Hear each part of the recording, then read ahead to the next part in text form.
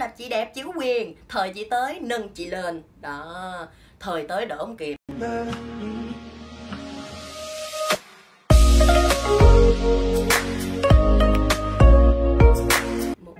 Xin chào tất cả mọi người, lại là Dear đây và chào mừng mọi người đã quay trở lại với kênh Dear Tarot Tâm sự của Nguyên là Tà Ra. Ok, một tuần đã trôi qua rồi và đi lại ngồi ở đây trong một linh tinh chuyện tâm linh và chúng ta sẽ lại tiếp tục tiếp tục để nói về cái cuộc hành trình của bộ ẩn phụ. Và đương nhiên ngày hôm nay đã đi đến ngày cuối cùng rồi, ngày cuối cùng của bộ ẩn phụ cuối cùng rồi, đó là bộ cups. Bộ cups nó đại diện cho nguyên tố nước, hay nó còn nói về những cái vấn đề tình cảm linh ta linh tinh. Đó, nhắc tới chuyện tình cảm thôi. Tình yêu là một bài thơ quá dài nói chung là đi đi làm tarot reader cũng khá là lâu rồi. Khá lâu thôi nha, nói chung là cũng khá lâu. Và đi ngồi nói chuyện với cũng rất là nhiều khách rồi và hầu như khách nào đến với tarot á 10 khách thì hết, chín người rưỡi đã mang chuyện tình cảm rồi. Nặng lòng nặng lòng hỡi thế gian tình là chi? Mà ta muốn lạ đi. Đó, rất mệt mỏi, rất mệt mỏi. Cho nên, chúng ta ngày hôm nay chúng ta sẽ xem xem. Vậy thì tarot trong bộ bài tarot cái bộ phận về bộ uh, cups nó nói gì? Về câu chuyện tình cảm câu chuyện của cảm xúc.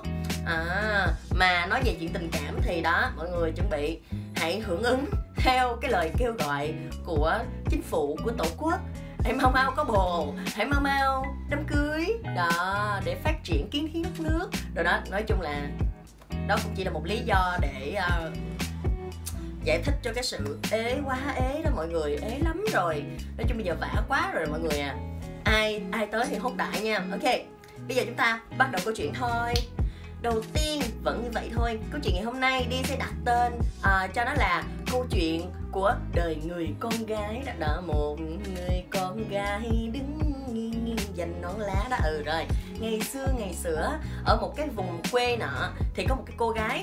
Cô gái này rất là đẹp cô gái này rất là um, thùy mỹ nết nam nói chung cái nết cổ được lắm, cái nết của cổ được lắm. Nên là rất là được lòng rất là nhiều người. Và rồi thì trong cái làng đó đó, bên cạnh cái việc mà cô ta đi đâu á, cô ta cũng gặp được người này, thương người kia, yêu quý. Đó, nói chung là già, trẻ, lớn, bé, gái, trai, ô môi bd là đều rất là thích cái cô gái này. Bởi vì cô ấy là một người mà vừa đẹp người đẹp nết. Uhm, đẹp người mà phải đẹp nết nữa nha mọi người. Uhm, chứ đẹp người mà xấu nết thì giả vô cái mu bàn tay.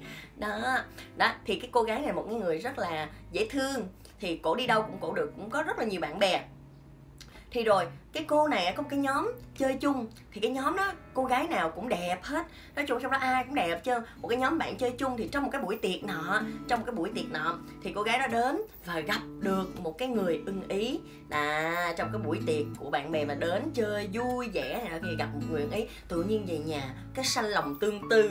À, cái ngày đêm trằn trọc trằn trọc. Không thể nào không nghĩ đến anh được. Đà nhưng mà nên nhớ là ngày xưa cô ấy rất là đẹp. Và kiểu như từ xưa giờ cổ chưa bao giờ fall in love cô chưa bao giờ yêu ai cổ chưa bao giờ bị té ngã vào tình yêu cả. Đó, cho nên tự nhiên bây giờ cổ bị tình yêu ập tới vô cái mặt của cổ cổ bàng hoàng, cổ sửng sốt. Đó, rồi cổ tương tư, kiểu giống như ngày xưa cũng gieo tương tư nhiều lắm nè, cái đầu hoàng thì lên vô liền, kẻ đi gieo tương tư, giờ thành kẻ đi ôm tương tư, ngược lại ngược lại, đó, theo kiểu giống vậy đó. Thì đó, rồi, thế là cổ cứ tương tư về cái thời gian thấm thoát cho qua thì cô này bởi vì là ừ, đời người con gái mới mới lớn đó, đâu có dám thổ lộ đâu. Nên theo kiểu là cổ, rồi thì cổ đành để cho mối quan hệ đó dục qua, dục mất. Đó, cổ tiếc lắm, nói chung là cổ rất tiếc bởi vì cổ rất là thích cái anh này. Nhưng mà em không dám nói ra, em không dám nói ra đó. Là theo kiểu là đường một chiều đó, tình yêu đường một chiều đó rằng em cố chấp đồ đó à thật hay đó nói chung là cô này cổ tương tư với anh đó nhưng cổ không có dám nói ra. Cho nên rồi đến khi mà cái anh này anh có một cái bến bờ mới rồi thì cổ cảm thấy là cổ um, cổ đau lòng cổ buồn tuổi cổ không có dám. Nói chung là cái con nhỏ này mà có ngoài đời là đi sẽ đến đi giả vô cái mu bàn tay của nó. Cái nết kỳ. Thích người ta hay yêu người ta phải nói ra đúng không mọi người? Đó. Thì nói chung là nó thích người ta vậy đó. Cái rồi uh, cổ mới đi tâm sự với một cái người bạn cũng là nam giới nha, cũng là bạn trai, là bạn trai nha mọi người. Đó, một cái bạn trai nọ là một cái người tri kỷ với cổ, đã lớn lên với cổ từ tấm bé, từ hồi tấm bé tới giờ rồi. Rồi nói chuyện tâm sự tâm sự với người đó về cái nỗi lòng của của cổ.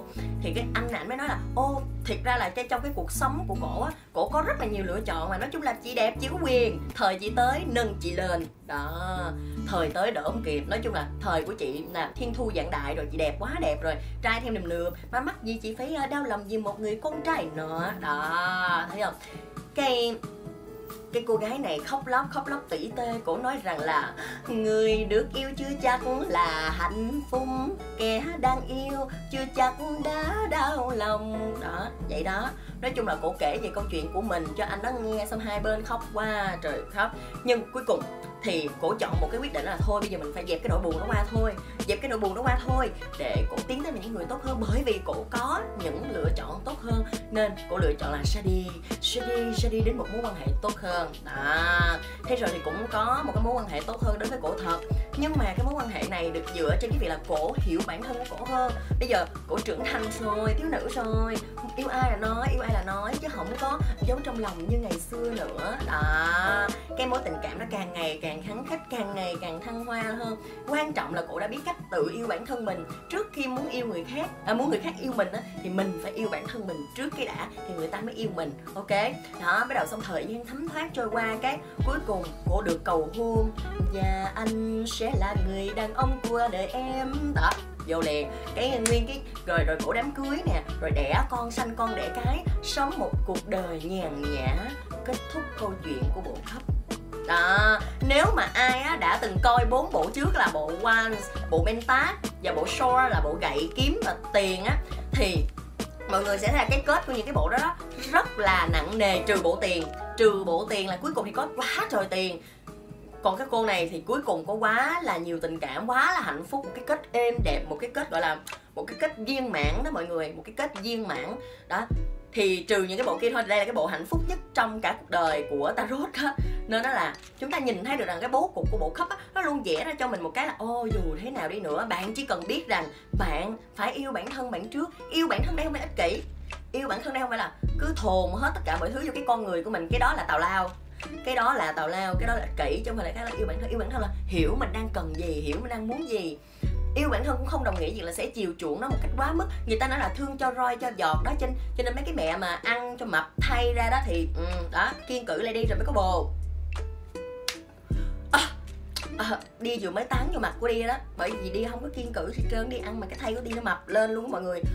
À, tức quá tức. Nói chung mình nói người ta mình sửa lưng con nhà người ta nhìn lại con nhà mình tức tức cái linh hồn của mình. Đó thì vô hình chung cái bộ khắp nó là như thế. Và về cái ý nghĩa của bộ khắp ở đây có một số cái lá bài mà mọi người um, gọi là mọi người chú ý một chút xíu. Đó là lá bài số 5 số 5 lá bài số 5 á bên cạnh cái việc nó thể hiện cho việc là ờ tiếc nuối quá khứ thì thề còn còn một cái hiệu ứng nữa là ờ một cái sự tan vỡ nào đó trong lòng đó nó có một cái nghĩa là ờ đâu đó còn có một cái nỗi buồn sâu thẳm hoặc là cũng chỉ là một chút bùi ngùi thương cảm cho quá khứ thôi. Nó không đến mức là vẫn còn khắc khoải khắc khoải quá nhiều về quá khứ đó.